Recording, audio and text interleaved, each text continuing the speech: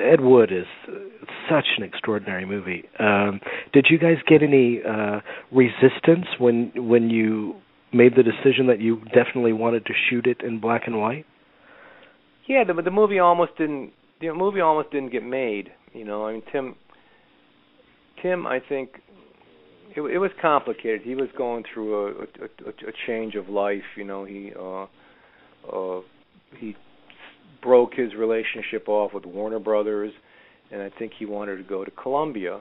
You know, and then then there was there was all this. I would only read about it because Tim wasn't a person that really talked to you very much. You know, then mm-hmm. then that fell apart supposedly on the uh, on the issue of shooting it in black and white uh, and then then then he went back to uh, to Disney or Buena Vista, you know, whichever name they had at that time where he started, you know, and they agreed to let him do it in black and white, and uh, and so I think I think that I wasn't privy to the resistance that was there in putting the the uh, movie together because I'm not involved in that.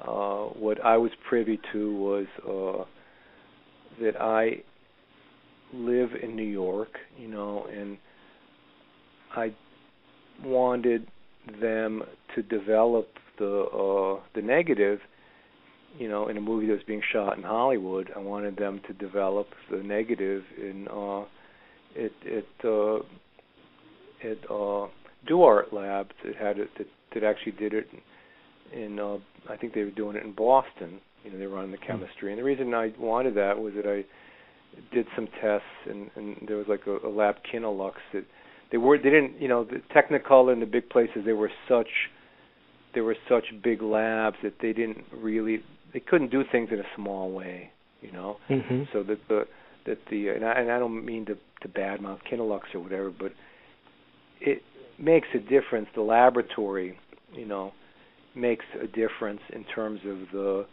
the uh, chemistry control over the temperature and the chemicals they're putting in the in, in in the different you know developing solutions and printing solutions and so uh so Tim was uh Tim, Tim was great in that he uh that that even though it meant not seeing the dailies until 2 days later Tim made them, and I was I was helped at the last minute because I was doing some tests, and they decided to they decided to send it to a lab in uh, in L.A.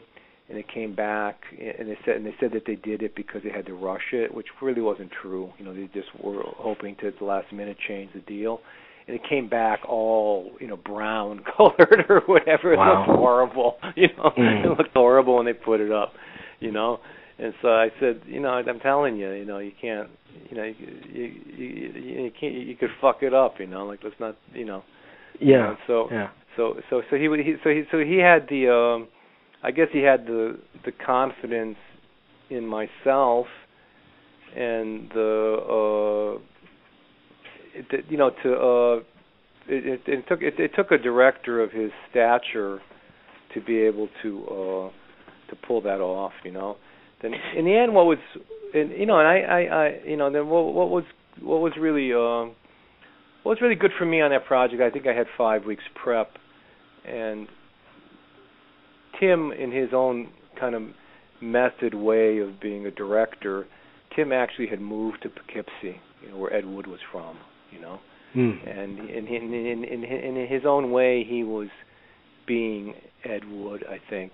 And in his mind, Ed Wood would never really prep for a movie too much, you know, and so he was very involved in the costume issues and some of the design issues, but less so than on Edward Scissorhands or on Batman Returns, you know. Uh, and so, so I I really had five weeks to uh, to study black and white photography, and the way you do that is you shoot tests and you print it and part of the skill which is not necessary anymore but when when movies were being shot on on 35 millimeter you know photochemical in a photochemical process and then printed you know where you actually had selected takes and they printed this take and that take and then it was assembled uh, as a, a work print, you know, by the editor, uh, then what uh, it you actually needed to you needed to get in sync with the lab. You you wanted the picture to come out exactly the way you you wanted it to, you know, either through mm-hmm. your imagination or as you as you were executing it. You know, when you when something was gonna fall to pitch black and you couldn't see anything, then or, or where something was gonna burn out or be too hot over here. So you so you really needed to uh to get all that down in a very sort of I guess I guess scientific. It ha- has to do with uh, with measuring light and and and uh, and you know and and and you know figure out you know how dark you want a person's face to be. And and like uh, what I know what what, what I could pick up in, in in black and white photography was was two things. Was that that you that oftentimes even at night that a normal brightness you'd have a person's face on the bright side of their face. You could actually get away with it being a little bit brighter than you would in color film you know hmm. but then you know and so so I so I, so I took advantage of of that and of course it's a it's a a, a luxury to be able to uh to shoot these very expensive you know tests. You know, you you got a, a camera, and then you got to buy the film, and then you got to send it to the laboratory. They make prints for you. Come back. There's some. It's something you never could afford to do on your own. You know, you know. Right. And so, so I, so I, I, I, I had a crash course, and it didn't have the really the the sophisticated uh digital previewing that exists nowadays. But it, so so for me, it was a a crash course in uh in uh, in shooting black and white, uh, you know, stock and printing it. And much to my surprise, there were there were there were you know the, the other thing was that there wasn't you know this was I don't know I mean when was that probably almost 20 years ago 19 years 18 or 19 years ago but there wasn't the choice of black and white film. There there basically were two there were two stocks available. One was 250 ASA and one was 80 ASA and so I was, you know, and, I, and it wasn't, you know, I, and I knew black and white film from uh, taking still photography in college, and you know, and and uh, developing the film in your own, you know, bathroom, and and it and it, and it seemed like, uh, but there was, wasn't even any kind of Tri-X. There was no 500 ASA film. So it was 250. But what I didn't, when I when I when I looked at it, both stocks really recorded darkness really well. The fast film you can make black black, you know, really really well, and the slow film really well also. Where where it where it surprised me was that on the 250 ASA stock, faster film, the sort of normal scenes like a daylight exterior or an interior that was supposed to be during the day was very very grainy, you know, hmm. in a way that I didn't think as I watched uh because I was lucky to get 35 millimeter 35 millimeter prints of of Ed Wood's films, and they weren't meant to look shitty. You know, uh, some of the, yeah. the sh- sort of shitty the shitty the shittiness of it probably sort of came from people watching them as kinescopes. You know, at, at two o'clock in the morning on, on on their broadcast television, where it's all scratched up and mm-hmm. whatever. You know, that th- these guys were actually trying to do a, a, a good job. You know, and but I think that that maybe they had uh, that the they had they had more real silver in their black and white footage, and that the chemistry was more unenvironmentally friendly, but it was more more good for black and white photography. But what surprised me on the on the on the faster stock was it was so grainy, and it didn't really I didn't want it to look like Schindler's List, you know, or I didn't want it to look like like uh like a doc, you know, like a grainy documentary thing. I wanted it to be, you know, look like like a like a silver a silver and black, you know, movie. And so mm-hmm. I went with the slower film, which was 80 ASA, which means you have to light it, you know, it's 80 daylight, 64 tungsten, you know, which you have to, means you have to light it up, up more. But but I never had a problem with lighting anything, you know, you know, it's just in, in in some ways when you actually need to use more light then the you know the the the difference in light intent you know like if if if you're working at a at a base level where your your base exposure is like a hundred foot candles, you know, which is like old old technology. You know, nobody works that way anymore. But but but if you have to shine, uh, if you measure it and you, and you have to shine a hundred foot candles on something to make it come out look normal, then then to go one stop over, you go to 200. You know, to go uh, to go to go uh, to go two stops under, it's 100. 100. One stop under would be 50. Two stops under would be 25. So there's quite a bit of difference between 25 foot candles and 100 foot candles. You know, in terms mm. of quantity.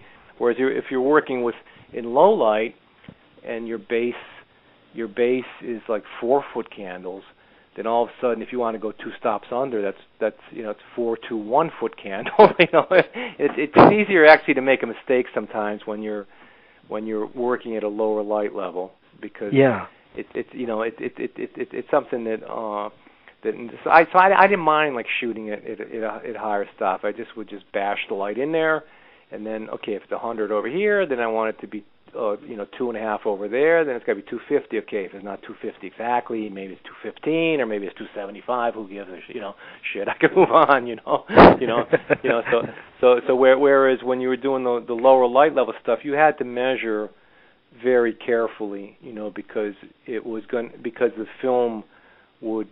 And you didn't have the option of then going into a DI suite or whatever and saying, okay, I want to you know I want to monkey with this. You, you know, you, you you really did have to be uh, uh, in, exact in terms of how you how you installed, you know, and photographed, you know, you know, you know the light, you know. Yeah. So the the the, the other thing that surprised me on the black and white stock was that on color negative, I never worried about overexposing something. You know, you never really worried about the backlight, how bright the backlight was, or if you're by a window, how bright is it outside. You know, like you really only sort of you really sort of only paid to the underexposure part of it, you know, paid attention to it, because that's where, because uh, that's where you would, uh, and I don't get overly technical about it, you know, but but the but that, that's where you could, uh, that's really what was important. Whereas I found, to my surprise, on the black and white stock, that it didn't look good when it was when the hair light or for the backlight was too overexposed. You know, it looked it looked like Bride of Frankenstein, you know, sometimes and you didn't want it always to look that way. If you wanted to have, especially if you were trying to match something, like what I tried to do in the movie was that the pieces of the movie that actually were were uh, exact, uh, supposed to be replications of Bride of the Monster or Glen or Glenda. You know, I, I wanted those to look exactly in the composition and the framing and the lighting. I wanted them to look just like the movie. You know, mm-hmm, I wanted mm-hmm. to be able to duplicate that or replicate that and then take my own my own personal freedom in doing the you know the other stuff that was between the scenes there, the personal story of Bela Lugosi and and, and, and Ed Wood, you know, in between, you know. But that's such a be- but, such a beautiful, good-natured movie. I mean, I, the, your work. Yeah, you know what What's what you know what what's ironic was that it, I think I think it was a bomb. You know, it was you know when it came out. I think it, did, it, it didn't do very well at the box office, and I think it was only until until the end of the year that you know that the award seasons came up that that Bela Lugosi you know that the Martin Landau character got recognized for Bela Lugosi and that you know but that that happens to you know when you know when there were there were movies that I loved uh, watching you know as a student and that really did uh shape me or that I learned from. But one of the one of the movies that I, that I really, really loved was was Night of the Hunter, the Charles Laughton directed. Yes, you know, yes. Which was you know it's like a like a, just a beautiful, beautifully photographed movie, you know. And um and and then then you read about that and that that that was a bomb also, you know. So it's so it's not you know a uh, like what what is great is that is that some movies are able to sur- to get past that and survive that